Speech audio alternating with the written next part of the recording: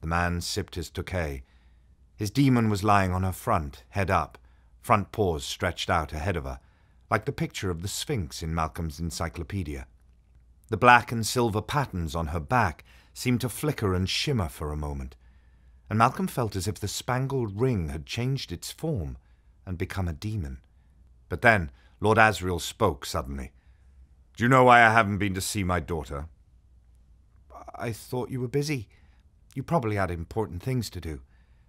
I haven't been to see her, because if I do, she'll be taken away from there and put in a much less congenial place. There'll be no Sister Benedicta to stand up for her there, but now they're trying to take her away anyway. And what was that other thing I've heard about? The League of St. Alexander? Malcolm told him about that. Disgusting, said Asriel. There's plenty of kids in my school joined. They like being able to wear a badge and, and tell the teachers what to do. Excuse me, sir, but I told Dr. Relf about all this. Didn't she tell you? Still not quite sure about me. Well, no, said Malcolm. Don't blame me. You going to go on visiting Dr. Relf? Yes, because she lends me books as well as listening to what's happened. Does she? Good for her. But tell me, the baby, is she being well looked after? Oh, yes. Sister Fenella, she loves her like... He was going to say like I do, but thought better of it. She loves her a lot. They all do. She's very happy. Lyra, I mean. She talks to her dæmon all the time, just jabber, jabber, jabber, and he jabbers back.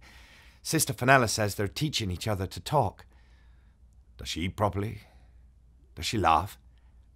Is she active and, and curious? Oh, yeah. The nuns are being really good to her. But now they're being threatened. Asriel got up and went to the window to look at the few lights from the priory across the river. Seems like it, sir. I mean, your lordship. So will do. Do you think they'd let me see her? The nuns? Not if the Lord Chancellor had told them not to. And he has, eh?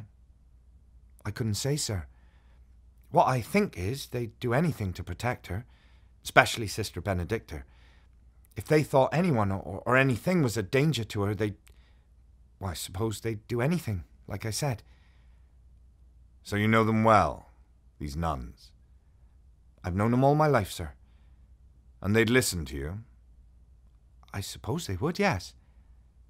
Could you tell them I'm here, and I'd like to see my daughter? When?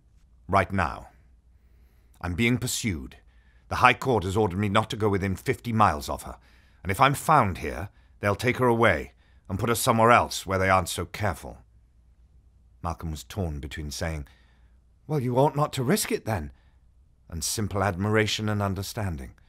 Of course the man would want to see his daughter, and it was wicked to try and prevent him.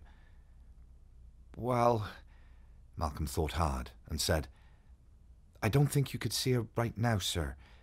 They go to bed ever so early. I wouldn't be surprised if they were all fast asleep now. In the morning, they get up ever so early, too. Maybe I haven't got that long. Which room have they made into a nursery? Round the other side, sir, facing the orchard. Which floor? All their bedrooms are on the ground floor, and hers is, too. And you know which one? Yes, I do, but you could show me then. Come on. There was no refusing this man. Malcolm led him out of the terrace room and along the corridor, and out onto the terrace before his father could see them. He closed the door very quietly behind them, and found the garden brilliantly lit by the clearest full moon there'd been for months. It felt as if they were being lit by a floodlight. Did you say there was someone pursuing you? asked Malcolm quietly. Yes. There's someone watching the bridge. Is there any other way across the river? There's my canoe. It's down this way, sir. Let's get off the terrace before anyone sees us. Lord Asriel went beside him across the grass and into the lean-to shelter where the canoe was kept. Ah, it's a proper canoe, said Lord Asriel, as if he'd been expecting a toy.